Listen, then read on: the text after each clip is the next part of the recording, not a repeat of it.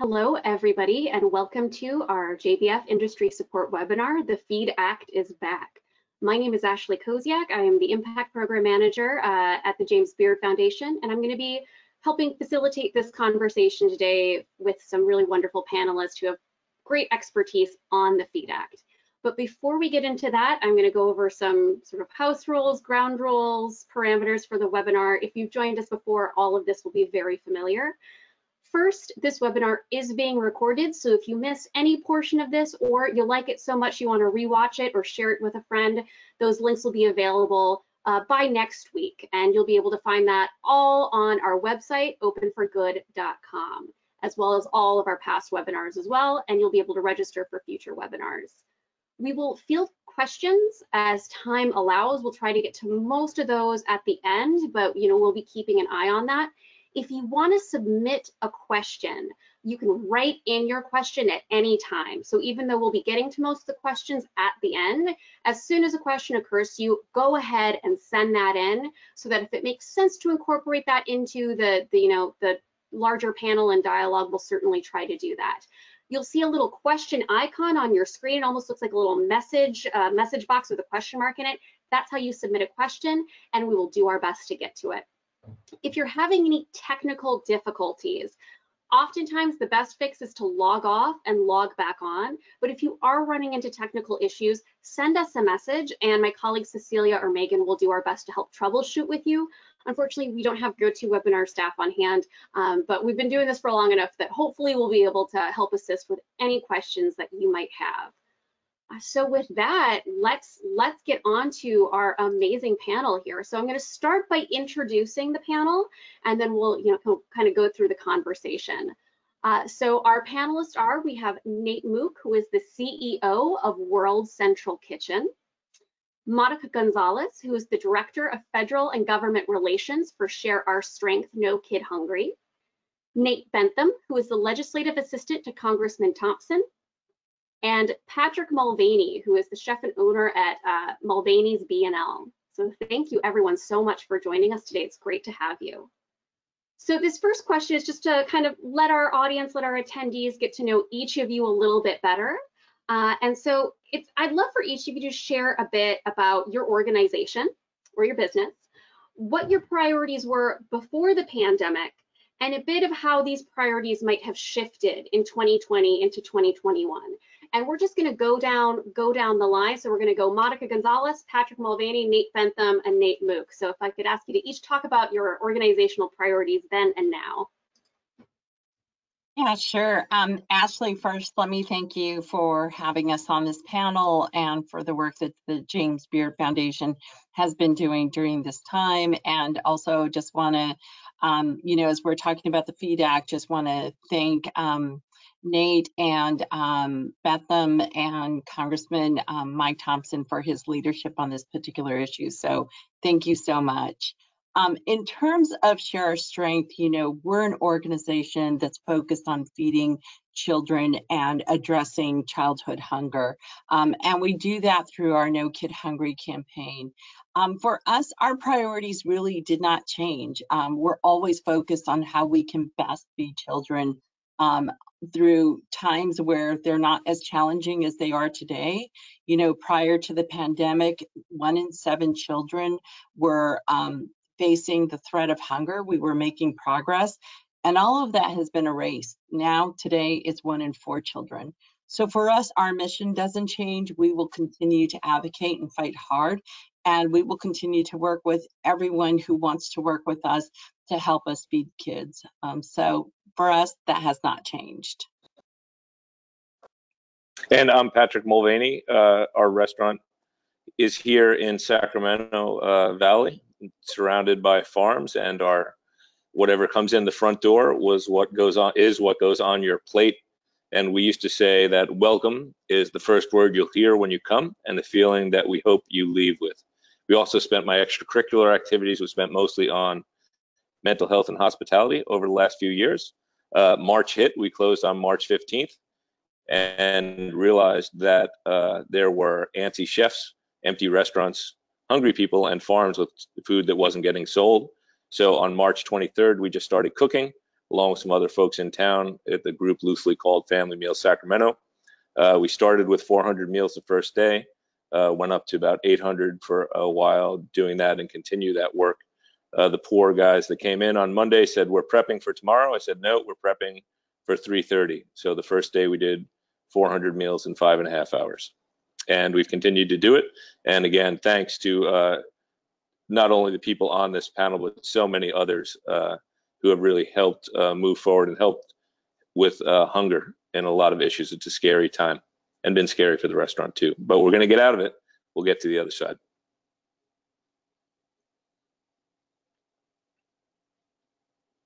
Nate Bentham.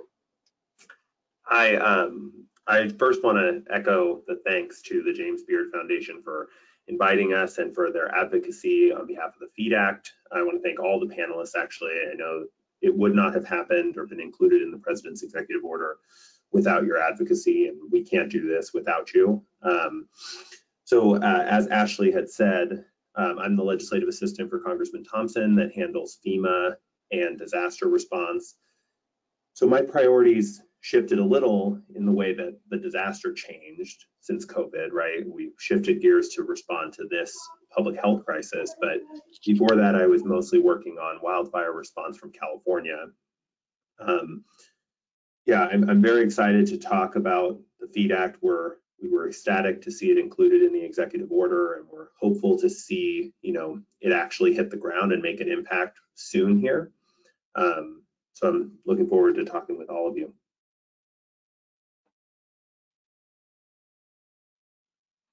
Great. And I am uh, Nate Mook. I'm the CEO of World Central Kitchen. We are a nonprofit organization founded uh, back in 2010 by a chef, a chef named Jose Andres. Um, and Jose really founded the organization to see how chefs in the culinary industry could play a role in solving some of the challenges the world faces around food. Um, you know, he felt that you know, as we look to to some of the big problems around the world when it comes to, say, a medical crises, you know, who do you send in? Of course, you send in doctors, and yet when it comes to food crises, we're not always sending in those that know the most about food.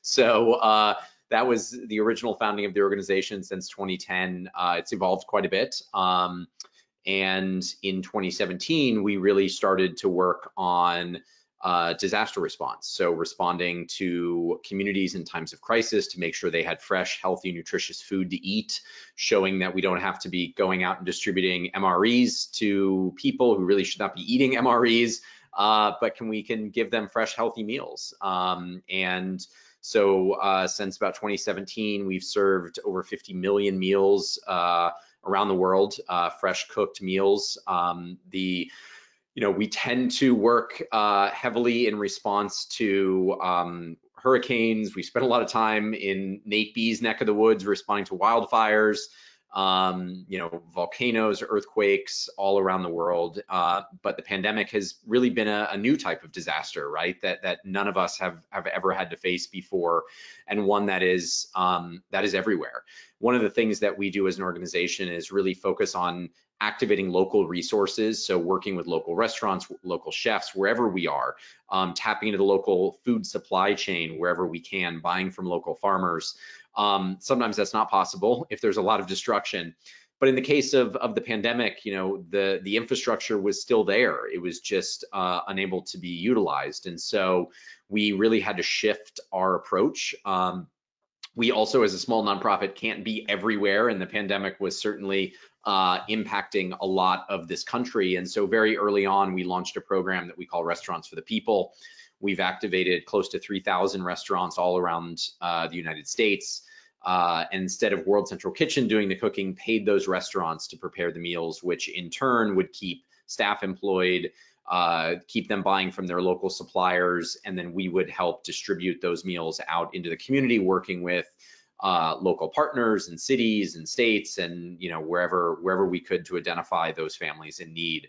Uh, to date, uh, since in the past year, we've put about um, just over 150 million dollars that we've been able to inject back into small businesses, restaurants uh, to provide meals. Um, it feels like a lot for a small nonprofit, but we know the scale of this disaster is is much larger than that, and that really is what led to this work on the Feed Act. So um, we're excited about sort of the next stages of this. This is a really great step forward. There's still a lot of work to do. There's still a lot of unknowns. I don't want to, you know, make it sound like we've we've solved everything, but this is a step in the right direction, an exciting step, and one that I think could also, um, you know, now now is definitely an opportunity for the industry at large to really step in and, and play a role in helping us get to where we need to be. So thank you so much for having me today. Well, thank you again, all of you for being here and for doing the amazing work that you are doing out in the wider world. Uh, so let's, you know, let's start with the FEED Act. Uh, Nate Bentham, if you could, so I know the FEED Act was first introduced last year and now we're seeing it back. And I've heard so many things. I've heard the FEED Act in, you know, the relief bill, executive orders. Could you break all this down for us? What is the FEED Act and where are we on it? You know, how, how far along are we in making this happen? So essentially the FEED Act is a FEMA fund reimbursement plus up, essentially. Um, and it was born in the last year in the 116th Congress. And what we took was this blueprint put out by the state of California in their Great Plates program, which some of you may be familiar with. And they received approval from FEMA for quote unquote emergency food deliveries. So we realized that FEMA can approve emergency food deliveries under the Stafford Act, which is their major emergency response bill, essentially. Um, so we looked at that and said, well, we went to the state and said, well, why is this so limited, right? Why is it only senior citizens and why can't we do this everywhere? And one of the things they pointed to was the cost share makeup, which is a 75 25 federal split, meaning that the federal government would pay the state 75% of the cost of the program, but not the state would have to come up with 25%. As everyone on this call, I'm sure, is aware, state and local city and county governments um, are really feeling the pain in the co- in this pandemic. Um, their budgets are stretched. They are making tough decisions, especially at the local level. You know, we have cities that reserves are completely depleted. We have counties that are struggling to, you know, support their uh, public employees. So we looked at this and said, you know, with our experience with wildfires, we've had success in upping the federal cost share to 90-10. We said, you know, feeding people shouldn't the state, city, county shouldn't have to choose between their budget and feeding people, people in need. Um, so we wrote this bill to increase the federal cost share for emergency food deliveries to 100% um, during the for the COVID-19 pandemic. Um, like you alluded to, we had uh, great success both bicameral with our wonderful partners in the Senate and um, now Vice President Harris originally and uh, Senator Tim Scott, and this Congress when we reintroduced with wonderful um, Senator Murphy and then Senator Scott again. So we were able to successfully get it into some versions of the COVID relief packages, the HEROES Act most notably. Um, unfortunately, that didn't have very much traction. So we recalibrated, worked with our amazing partners in the House. I mean, I can't speak more highly of our FEMA chairman or FEMA jurisdiction chairman, T&I chair uh, DeFazio. He's been just such an ally. And we organized this uh, letter essentially. So it was a formal letter with many, multiple chairs in the House, um, Appropriations Chair DeLauro, Chair DeFazio, my boss, Homeland Security, Chair uh, Thompson as well, Bennie Thompson. And um, the last week of January, we sent it to President Biden asking him to enact essentially the FEED Act, but in a broader way. Mr. DeFazio included some other emergency measures in an executive order. That came in on February 2nd, thankfully, um, which means that FEMA now is in the process of rolling out its guidance for cities, counties, and states to utilize this 100% reimbursement.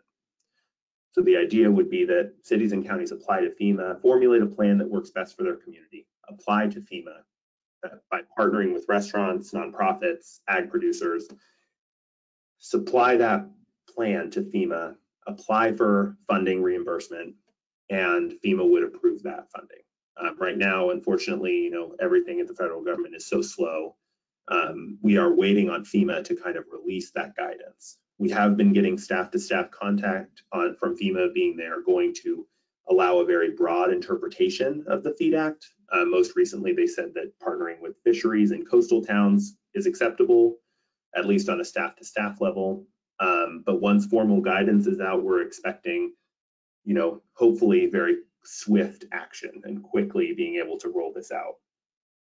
Um, yeah, so I would highly encourage, that's kind of the rundown of where we are with the feed, but my biggest advice on how to utilize something like this is for industry folks on the ground that know what's going on and can really help um, to start the conversation with their local governments, either city, county, and um, begin to like say that money is out there. This is approved. The president made this executive order, which included the FEED Act, and um, you know they they can start contacting their state emergency operations, like in California with Cal OES, or FEMA directly, and start the conversation about uh, getting this funding. Thank you. All right, and because because you brought up Great Plates, we're actually going to kind of maybe I think go go narrow our focus a little bit to California, and then we're going to bring it out and you know come back to to Monica and Nate Mook. Um, so Patrick, I'm going to pitch this one to you. Uh, as you've been in California, you're based in Sacramento. You, I, I, believe you've been, you know, you've been doing this sort of work. What has that that been like for you, working with your state and local government? How did you manage that, and what have has the effects been? What have you been able to accomplish?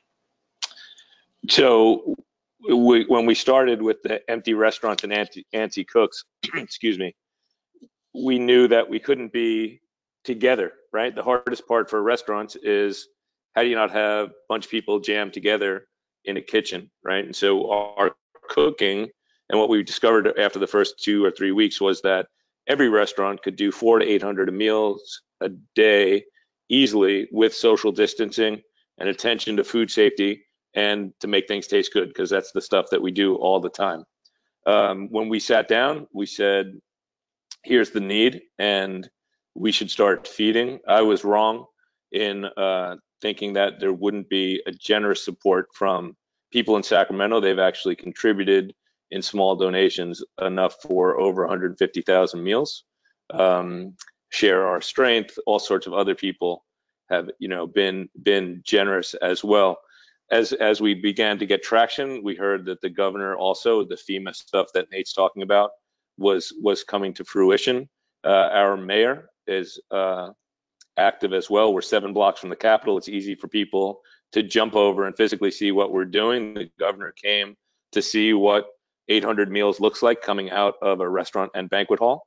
And it was he came the day it turns out that FEMA had approved uh, their their funding. Our mayor had already uh, agreed to find the five percent. My understanding is that definition is liberal. And so 20 days later, in Sacramento, uh, we were feeding 750 seniors a day, uh, three meals, three meals, seven days a week. Um, we we it's a bunch of chefs and we're all tight. You guys all know, being in the restaurant industry, how this works. And so what we said was, this boat is going to help us all float. So today there are 40 restaurants in the city of Sacramento, and we each do about 125 uh, meals a week with a really nice reimbursement. The reimbursement comes to us at I think it's $66 is the is the total. Restaurants get 58. Excuse me. At the beginning, we heard, you know, we know that school meals are 250 or less, which is really embarrassing uh, to feed someone with. We paid ourselves 450 in the beginning per meal. Lots of generous donations. Niman Ranch continues to be supportive. Superior Farms gave us 4,800 pounds of frozen lamb vindaloo. Uh, we had a tractor trailer literally of frozen hamburger patties from In-N-Out, although I don't know that they that's public. Um, so we got great support and it was easy to do financially.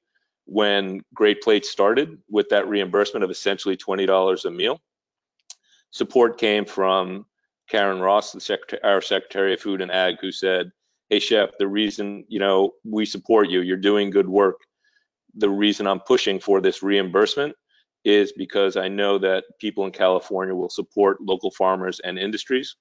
One of our local produce companies has uh, a cut sheet of 50 local farmers that they support on a regular basis. And that support went even up to Sysco, who to this day still creates a cut sheet of California grown products for people who are involved in the Great Plates program up and down the state of California, which I think is about 20 million meals uh, in all the jurisdictions that, that are sharing it. Thank you. And we're getting some great questions in, and we're going to try to save some of these for the end, but I think we'll probably address some of them as we go as well. Um, so Monica, I'm going to move this over to you. Um, why has it been important for Share Strength to support the Feed Act, and how how has Share Strength been working with the chefs in your network on this issue?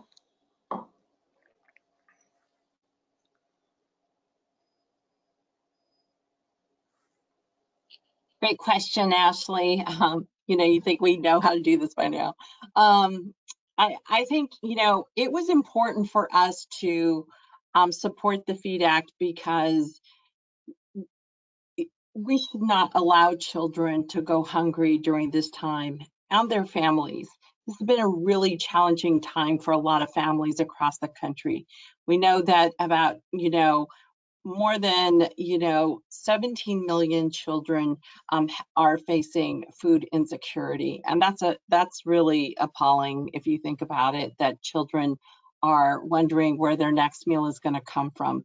We know that schools and community partners have done an amazing job of feeding children through the school meals program and we commend all of their efforts but that's still not enough. We need more um, support to help feed children and so wherever we can find and build on innovative partnerships and make sure that we're filling the gaps, we're going to be there to ensure that children have access to food. I want to build on something that both um, Patrick and Nate mentioned. One thing is, is that, you know, this is about removing barriers. And, you know, as cities are and localities are really trying to figure out what the priority is and every single one of them needs to be a priority, but so does feeding children and families. We need to make that a big priority. So I think what the FEED Act does is it removes that barrier and that financial constraint for a lot of localities. So that is something that Share Strength focuses on. We have a Center for Best Practices that works with our community partners and our school nutrition providers to remove barriers. So I think, you know, it was obvious that we needed to really um, get behind and support this bill. The other piece I want to build on is bipartisanship. Um, this is a bipartisan bill, and I think the one thing we can agree on is that feeding children is a bipartisan issue. There is nothing partisan about that, that we need to work to feed children because the long lasting consequences of not feeding children are too great for our country and for our economy.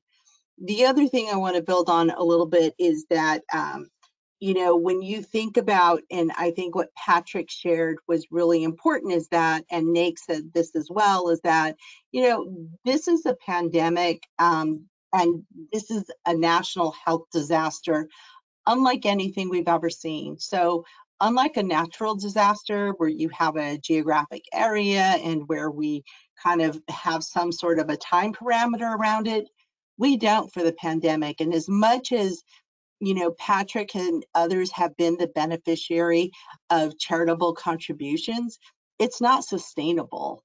Um, and, you know, we feel like there should be some commitment um, from our government to really help um, its people and to help our society during this really tough and difficult time. And so we're always advocating for ways that we can make sure that we're filling those gaps that we're feeding children. Um, there are a lot of children who are being raised by grandparents. So to the extent that we're feeding all vulnerable people, that's really important. And I think going forward, we want to make sure that we're identifying those policy solutions that really help us to address the need immediately. You know, for Share Strength, we have um, many culinary partners um, from the time that Share Strength was founded and we know that restaurants and chefs and the culinary community has been on the front line of not just this particular disaster, but many disasters. Um, they have been there. And I think as Patrick and others have said, is, you know, they know how to feed people. Um, they've been doing this all day long, right? You know, so you know, why not take advantage of that expertise? And I think the one thing that we have learned through this pandemic is that there are innovations and that there are people and expertise out there that we should really tap into. And that business as usual and the way we've always approached things um, maybe we need to take a second look at that and think about are there other opportunities that we can learn from that hopefully going forward that um, you know, Nate and and all the other legislators who've really supported this FEED Act won't have to do this again, but maybe there's a way going forward that we make this some kind of a permanent authorization that will allow for communities, localities to partner with restaurants to step in and be a complement to all the ongoing efforts to help feed um, children and families. Thank you, Monica. And what what you said, I've I've heard reiterated by uh, chef owners, kind of honestly since the pandemic began, is who are who are participating in these community feeding programs. Is the donations are great, but they eventually run out, unfortunately. Um, so you know, looking for new sources of funding can be really difficult. Um, Nate Mook, I'm going to go to you. Uh, if you could talk a little bit about the work that World Central Kitchen has been doing. You've been, you know, doing, you know, disaster relief work for for quite a while um, and and what the Feed Act means for you and the way that you work with the restaurants that you work with across the country. Yeah, absolutely. You know, I think um, you know we've been, as I mentioned, we've been engaging with restaurants uh, since very early on in this pandemic, um, starting in in March, and you know what we saw as as Patrick mentioned is you know restaurants play a critical role in the communities that in which they they operate. Um, they're employers, they're centers of culture. They're just they're you know they're they make up the fabric right of of where we live and I think we've seen that, um, especially in in those early days, and and in some places still in in a lot of our country, uh, a lot of restaurants you know really had to completely reinvent the way that they operate. Um, you know indoor dining has only just returned um, and even only a certain percentage in certain places. Some places there's still no indoor dining. Um, you know the the biggest job losses uh, that were seen during this pandemic were in the food and beverage industry. And you know thousands and thousands of restaurants have closed probably never to return again. And so um, but but I, I, think when you sort of get through some of the negativity, what you see is is is some of the amazing stories that have come out of this. The restaurants that have um, that that have stepped up to serve, um, that have you know sacrificed um, and really done whatever they can to support their local communities. And restaurants, I think we've seen how strong restaurants can be as part of the solution. Um, and from the very beginning, this is something that we've been a very strong advocate for that um, let's put restaurants back to work to feed our country. We know hunger, as Monica mentioned, is at unprecedented levels.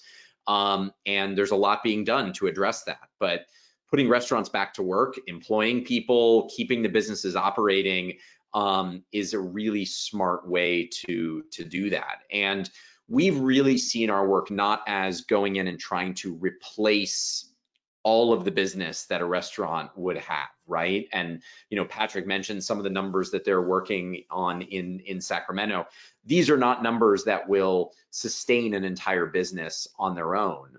But where I think this this is a really powerful solution is that it can be a bridge. Um, you know, from this period that we're in right now, where where restaurants are not operating at full capacity, they've had to lay off a lot of staff. You know, even if they brought some back, they're still a lot lower than probably they were in, in January of 2020.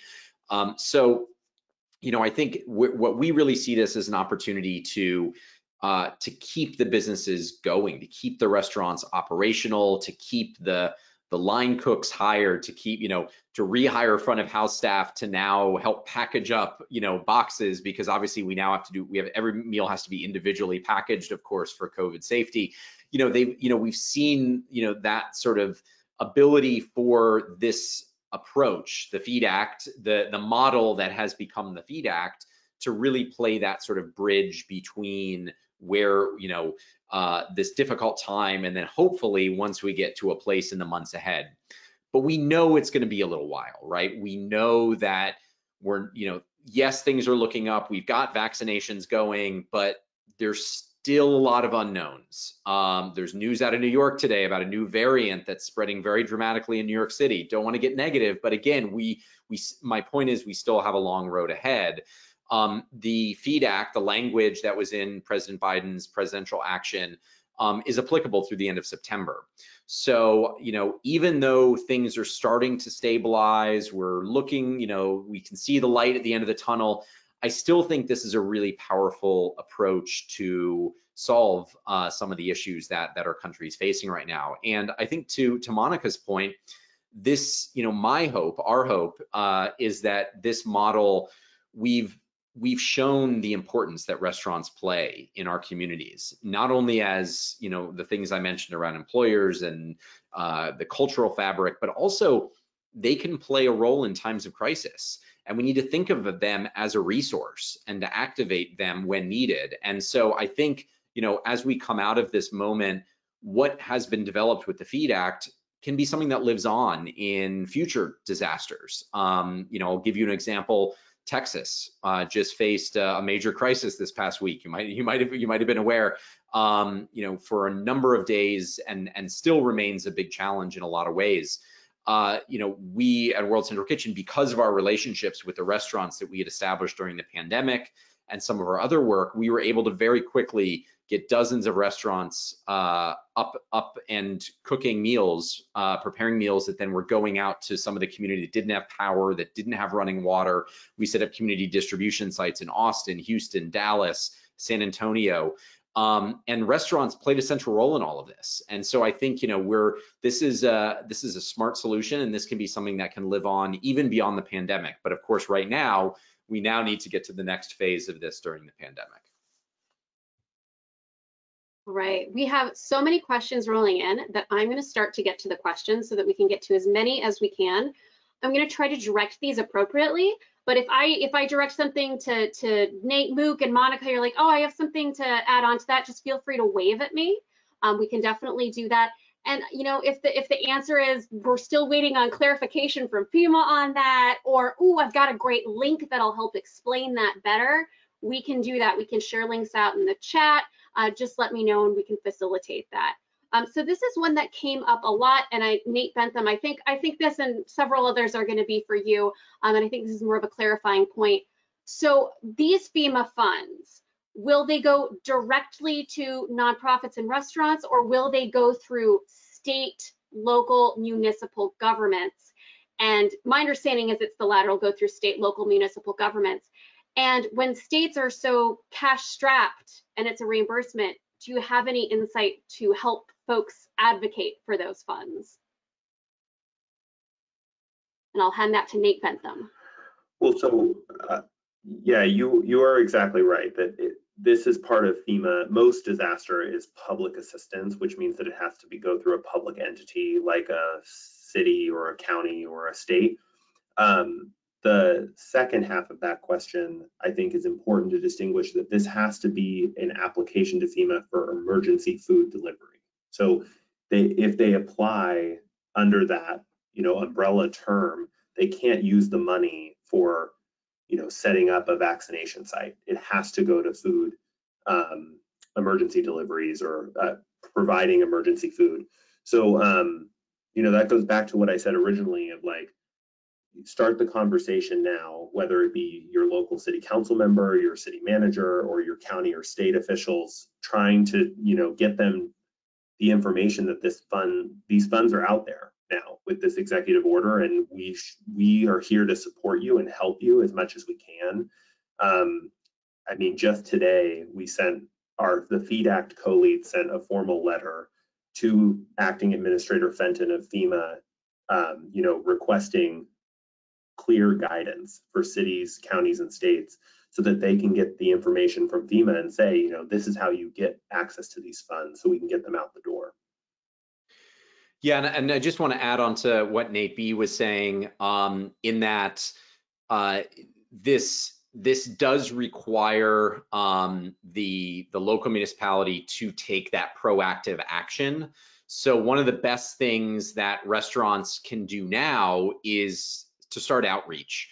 Um, some, you know, World Central Kitchen has been doing this as well over the past number of months, um, working with engaging with a number of cities and states um, and counties to kind of educate them and, and get the ball rolling on some of this.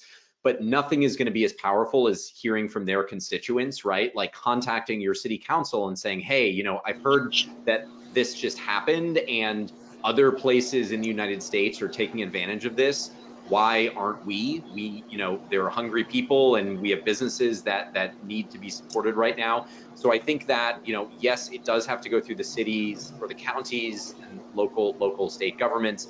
But um, there are there's a there's a key role that i think restaurants can definitely play right now in that sort of pressure and outreach to to get the ball rolling.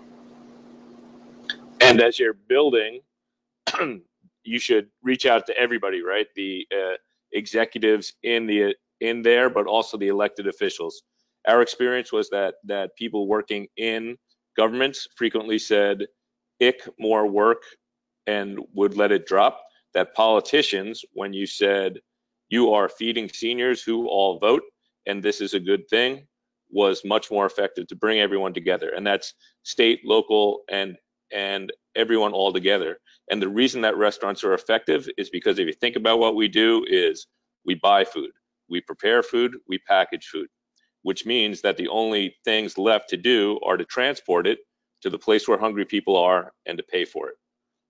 10 months in, we're pretty good at transporting too, and finding hungry people is not a problem. And thanks to folks like Congressman Thompson, hopefully paying for it won't be a problem either.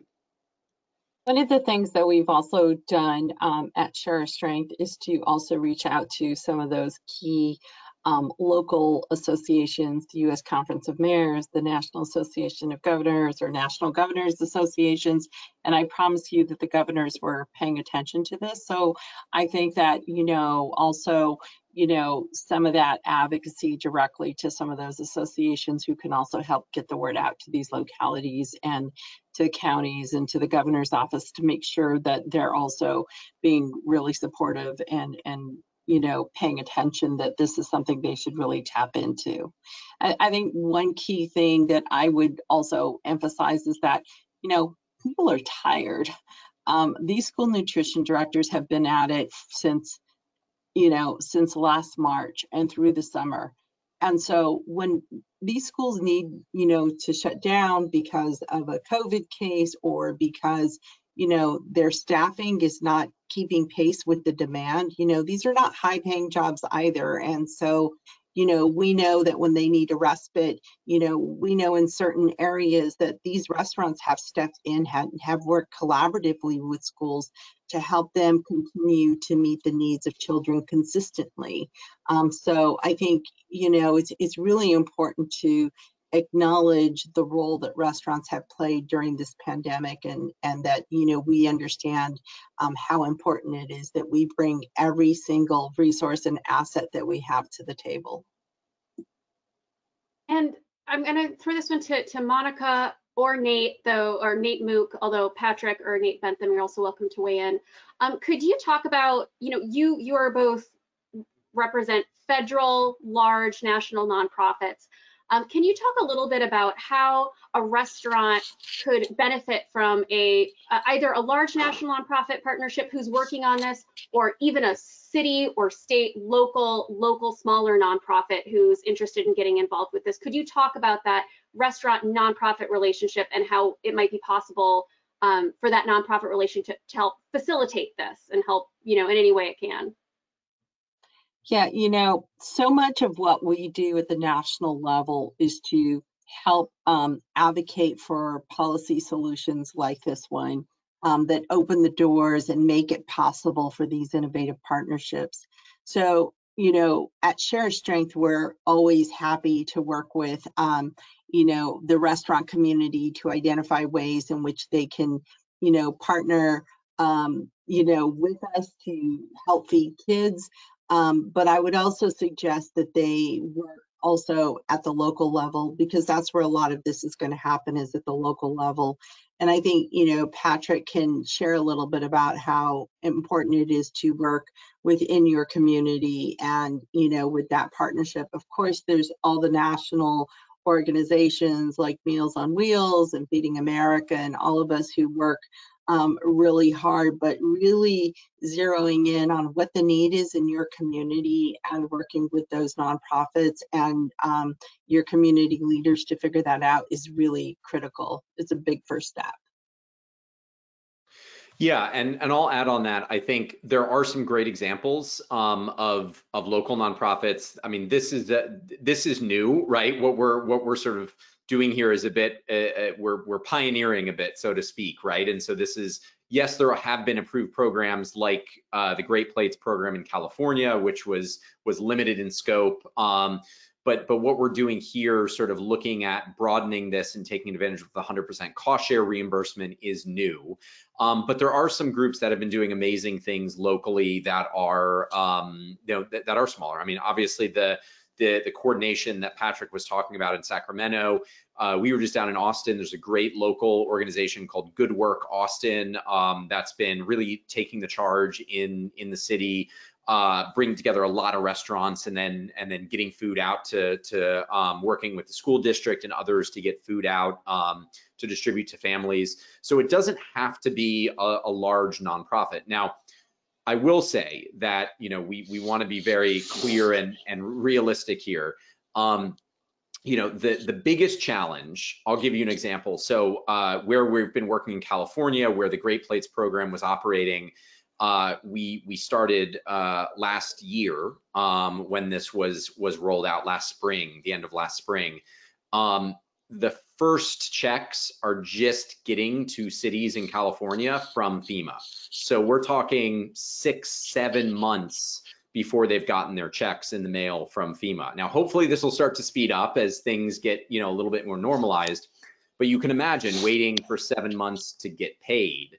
Um, so this is a challenge on a couple of fronts. One is that um, even if we're only talking about, let's say we're talking about one month or two months, imagine how many restaurants can do business and not get paid for two months for that business and yet still have to buy all the food and supplies and every all of their costs. Cities, unfortunately, have been facing the same problem that even with 100% cost share reimbursement, you know, they don't have money in their budgets that they can sort of float the difference until and make the payments until the money from FEMA comes in. Now, it's different everywhere. Some cities are doing better than others, but overall, that is a big challenge. So this is where the role of an organization like World Central Kitchen can come into play, where we can kind of in some ways serve as that coordination, that sort of middleman, so to speak, but using our sort of position to be able to work with directly with the restaurants, which is what we've been doing, um, and interfacing with the city and sort of being able to tide over by we can pay the restaurant so the restaurant doesn't have to wait for that public money to come in. So this is going to be something that we're going to be figuring out in the weeks ahead um, and is going to be one of the challenges that, you know, because restaurants when they they need to make payments, they need to make payments. They can't wait around for FEMA to take six months to pay them. And so this is something that will be needed to be worked out. But this is where larger nonprofits may be able to play a role here and partner with the counties and the cities and the restaurants to make this a little bit more seamless um, than than otherwise. And, and we've had that that challenge in Sacramento County where there's a smaller city who had to drop out of Great Plates because they couldn't hold the nut to make the payment first. State of California was pretty good about putting money out, at least in Sacramento, uh, pretty quickly. And then Ashley, to your question about what small restaurateurs can do in terms of, of large large nonprofits and how they help. I mean, World Central Kitchen, super inspirational, right? When we started in March, having no idea what we were doing, that's a great place to look at for us. It was super important. And then uh, can't short sell James Beard Foundation, Share Our Strength, so many other nonprofits who came in to help us and support us so that as we go back out and have those conversations and say, hey, Share Our Strength is with us, James Beard Foundation is helping, World Central Kitchen is on the same bus, we're all trying to help feed people. When you go to Nate's boss or go to other people, that just really helps uh, sell the argument too. And then the last piece I'd say on that is don't sell yourself short as as the chef or owner of a person who is running something that's essential or vital or so loved in the community that you have a voice. And we spend so much time in the restaurant business giving out gift certificates for people's charities and this and that and softball leagues and everything. Time to cash it in. Time to stand up and say, we have been good partners with you throughout our entire existence in the community. Here is a challenge, and we need your help, and we'd like you on board. And the last piece is while we're doing this for emergency, right, like Nate said, and they're geared towards that, for me, the inspiration from Share Our Strength is the idea that everyone should go to bed well fed. And the hope is that as we come through the other end of the pandemic, that because of this kind of programming, that we'll be able to say, yes, we should feed school children and their families. No one should go to bed hungry. And we should reimburse the people who are doing the work to see that that food goes out in an equitable manner. And for that, we have the World Central Kitchen to thank as a great model. I'm just going to say that um, I think I'm a little concerned that Patrick Mulvaney um, might be competing for my job. So thank you, Patrick, for all those kind words. I'm getting concerned though. Uh, to, to Patrick's point, I, I could not agree more. I mean, this was really born, this bill was born out of, you know, my boss hearing from restaurants in the community that he is, he frequents, that he is friends with the restaurateurs. Like he, it was born out of him seeing and hearing from people on the ground. And at least speaking from my experience with the co-leads at the Feed Act and my own boss, like they want to hear from you and it's so important to have your voices be heard by them. Um, and i would say because this is federal dollars i mentioned talking to your city county and state but also talk to your federal representatives. This is federal dollars and they should be communicating to the other local electeds that this money's out there there is no voice more important than the voice of a constituent. And, you know, I've had the ben- benefit of and the honor of having chefs join me in some of my Hill meetings. And, you know, they remind, um, you know, Hill offices all the time um, that they are the backbone of some of their communities as um, local business owners and employers and partners in the community. So, you know, your voice is so incredibly important. And, you know, Share Strength welcomes anybody who wants to always join us for our Hill meetings or our virtual lobby day. So, absolutely. And staff, staff, staff, as you reach out, do not, the importance is the staffers that are there. People like Nate who return your call, super important. And also the idea of Nate's right, man, using, we have used our congressional delegation to push back down into the city and county when we think that they're not moving as fast as they should. A call to our Congresswoman, Mrs. Matsui, or Congressman Bera to call back in, and even quite frankly, to Congressman LaMalfa, who is represents an agricultural district, to be able to say to him that this is about saving farmers and about creating economic development tools means that someone who is an unlikely partner now has joined us in the game and pushing back down into the community can help make this stuff work better. Okay, so to summarize some of the amazing things I'm hearing before moving on to a few other questions. Um, and some of the questions I think we don't have clarification on yet, just to kind of preview that for anyone, because we're getting some real, real detailed questions, which are great, but I think those answers maybe don't exist yet. So I hope that we'll be able to have another one of these webinars um, once that clarification comes out from FEMA, once that guidance comes out from FEMA, we'll be able to answer some of these questions that are more detailed. But so my understanding is, I want to make sure and correct me if I'm wrong. Definitely call me out. Uh, so we had we had the Feed Act, and then the executive order happened. So those funds have been approved. They're there. They're going to be there. There's kind of nothing left to pass there except for figuring out what that guidance looks like. So in while we're waiting for that guidance, and we don't really have a timeline on that. Hopefully it'll happen sooner rather than later. But FEMA's super busy right now. Um, a good thing for if I'm a chef or a restaurateur where I can start right now as I'm thinking about this, I can start to have those conversations with my city government uh, with my municipal, with my county, and with my state leaders. Did I miss anyone in those list of who should I really target in my in my outreach as I'm starting to think about this? And also, I'm going to say, as a restaurant, I should also start thinking about local nonprofits that can help facilitate this and identify the need, whether a, a small nonprofit or I think Monica, as you mentioned, uh, I think Share Strength has been doing a lot of work with um, with school food, so with with lunch feeding and where that might be appropriate. Fill in any giant holes that I left or any huge errors that I made. I think the only thing that I'll add, um, Ashley, is that um, you know I there while we are yes we are waiting for um, some more detailed guidance from FEMA. Um, unfortunately, I, I, will say that oftentimes some, the, the, way that FEMA works is they are reactive, not proactive. And what I mean by that is they will respond to uh, th this guidance may end up coming out of the process of um, applications going in from cities and states as they approve them, which then starts to create a standard.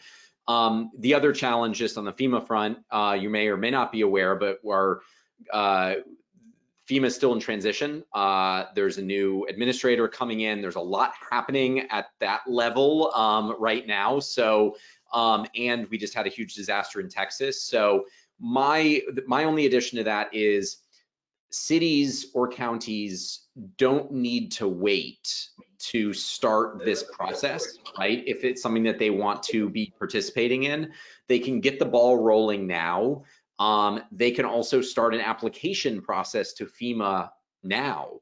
Um, you know, put put together a project application proposing this work. And again, as you mentioned, Ashley, with restaurants working with local nonprofits or larger nonprofits, or you know, figure out how to plug in restaurants in there and put together a proposal to FEMA specifically for this type of work. So even, even if guidance might still be some weeks away, there's still steps that can be taken now if, especially if cities or counties are willing to move quickly.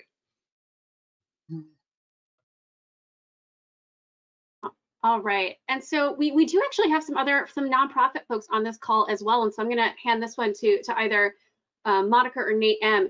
Is, is there a place where nonprofits, local nonprofits who would either like to be connected to learn best practices from other nonprofits that are engaged in this space that are specifically working on feeding communities in need. Is there is there some place they can go to resources or to connect or if they want to you know start partnering with restaurants is there a is there a local nonprofit network? I, I wasn't sure if nate or monica if you had any resources that you could share yeah, we have outside of working with Patrick, there are a few other partners that we have worked with on feeding um, the community. And so we would be happy to um, follow up and talk with them individually about um, some of the different models and ways in which, um, you know, um, this these partnerships have worked to feed um, communities. So I think it really depends just on terms of just you know, kind of whether you're working with a school, whether you're working with a nonprofit, the type of population that you're feeding, because they all have different needs and requirements.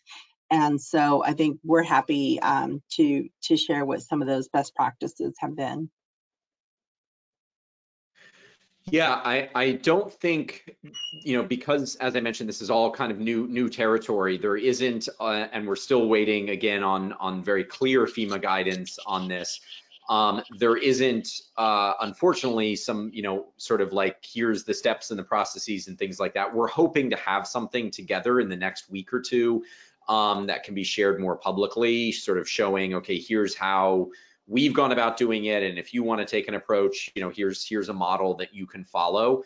Um, I, I, hope that we'll continue to get more clarity. Uh, you know, Nate B's team um, and Mike Thompson's office and others are working hard uh, from the congressional side, pushing uh, the administration and FEMA to, to, to get this rolling. And I think, you know, one, one of the key things I do want to mention is that, um, you know, President Biden uh, is a big supporter of this idea um, in the intent. You know, he's come out and said, we're going to put our restaurants back to work to feed our communities.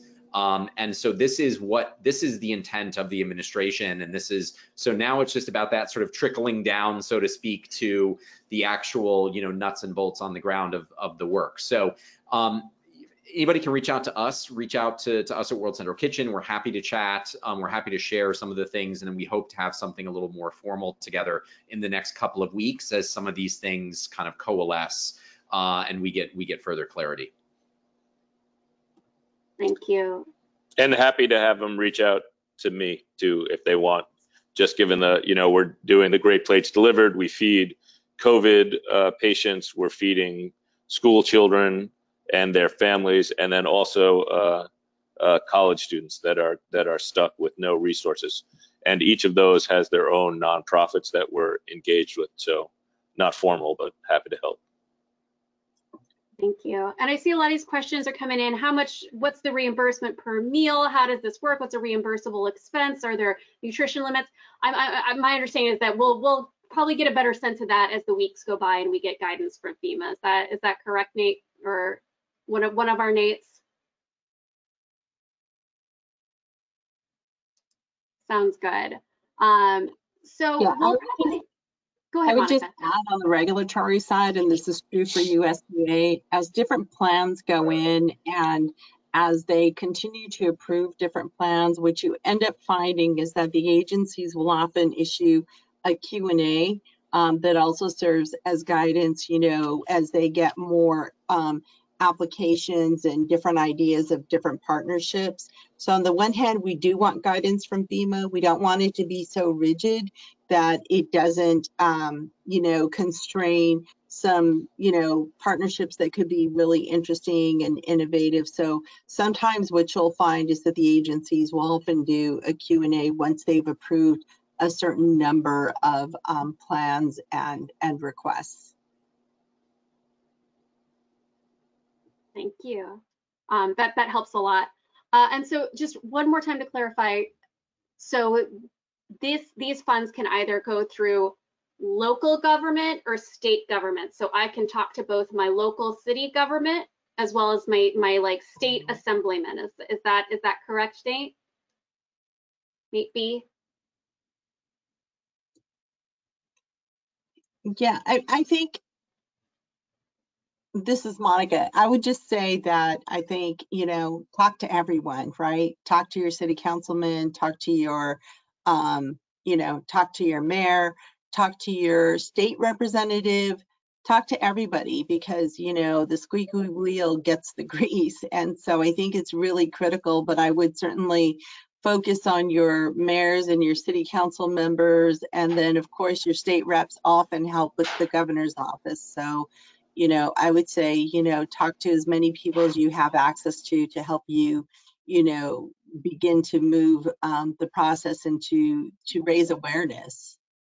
Yeah, I'll, I'll add that the the actual FEMA application will likely be coming from your local city or county, um, but it will flow through, and a lot of states have a state level uh, uh, kind of review. Um, so just a, a, practical example. So we're working in Oakland, uh, the city of Oakland. Uh, the city itself is the submitter because it is its own, uh, it's even though it's part of Alameda County, it's its own entity. The city is submitting directly to FEMA. Um, but before it does that, it goes up to the state level and gets looked at and sort of given the thumbs up. And then when it gets the thumbs up, then it goes to, to FEMA and then it will flow back through. Things can happen at the state level. You can, you could get a program more broadly that gets put together, which then gets disseminated from the state level down to the implementation in the cities and the counties. This is what happened with Great Plates. The state of California came worked with FEMA, came up with this concept, which then became available to the local cities or counties to take advantage of. Many of them didn't. Unfortunately, there were a lot of challenges with the Great Plates program, which uh, limited uh, how the uptake on it. But um, you know the that that sort of flow of things. So I think uh, local is ultimately probably going to be the most important because they're the ones like your city or your county is going to be the ones really actually implementing this. But if you have those connections at the state level, that can be very powerful to help, as Monica said, you know, grease the wheels, get get more. The more pressure you can have here, the better. Because one of the things we're going to be fighting against is is the inertia. Is you know, getting somebody to do something new, take on a new task. This is crazy. Everybody's busy. There's a lot going on. You know, uh, it really needs to be seen as a win. And and I think you know, as both Patrick and Monica mentioned, um, you know, it it it needs to be presented as an opportunity that you know in is going to really help. And as a constituent, you can put a lot of pressure. Um, and also, if they don't take advantage of it while a neighboring city or state does, you know, that's also going to make them look bad. So, you know, this is this is sitting there, you know, ready to be utilized. So now we just have to have to do it. Excellent. Thank you so much for clarifying that. That really helps.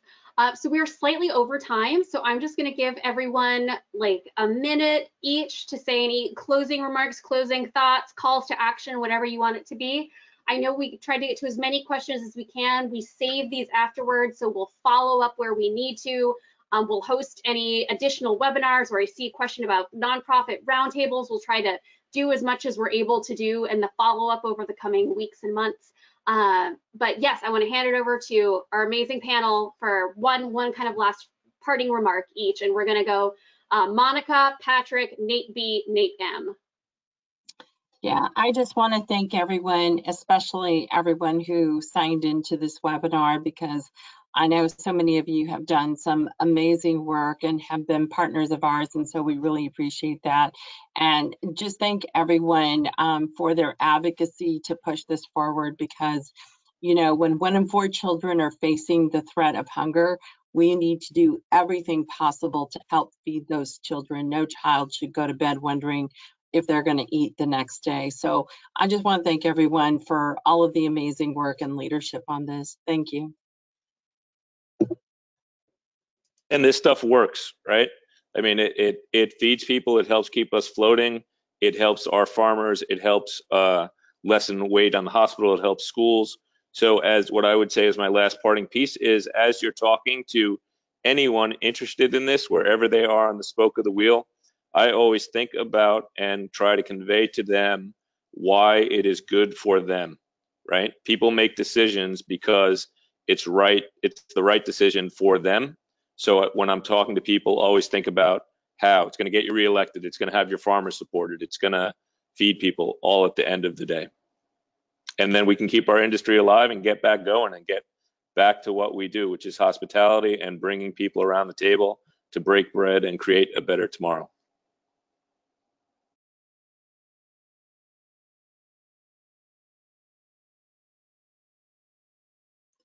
You're on Nate B, I mute. you're on mute, Nate B.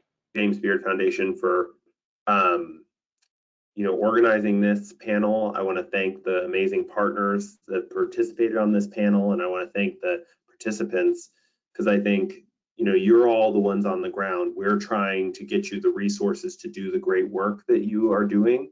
Um, you know, and this fight isn't over. It doesn't stop with just this executive order. We want to push FEMA to get clear guidance out. We want to make sure that people don't go to bed hungry it's a passion of my bosses and you know we're in it for the long haul here and so thank you all for all your work and thank you for including us Yeah, and I'll just uh, add, you know, I think I want to thank everyone for, um, of course, tuning in and and helping spread the word about this, um, uh, and also for your patience. You know, this is this is a process, and um, you know, I know I wish there things were faster. Um, we've been we've been fighting for the Feed Act uh, since last spring, um, and this is an exciting uh, step forward. Um, even if there's a lot of work to do, and appreciate your patience and support as we're working through this. And get in touch if you have any questions. Get in touch. Um, you know, as we get this more locked in and detailed out, you know, we we want to get this in a place where folks can take advantage of this all over the country and uh, we can get food out to folks that need it and restaurants can be supported and also buying you know it's not just the restaurants right? As patrick mentioned it's the it's buying from the the suppliers and the farmers and all of it gets the whole the whole wheel turning again which is so so critical. So um, you know appreciate all of you and uh, we hope to continue this conversation. This is just the start. So a lot more in the weeks ahead Thank you so much, everyone, for attending and for bearing with us as we go a little bit over, but it's such an important topic. And thank you, Nate, Nate, Patrick, and Monica for being such amazing panelists. And, you know, that's just on top of all the remarkable work that you're doing in your day to day. Uh, but we'll be collecting all these questions that come in. We'll try to direct them as appropriate. Uh, so keep an eye out over the next few days for that. And hopefully we'll be able to share more resources soon. But thank you again. And everyone check out Open for Good if you love this and you want to see more webinars, if you want to catch a recording of this one. Thanks, everyone. Thanks.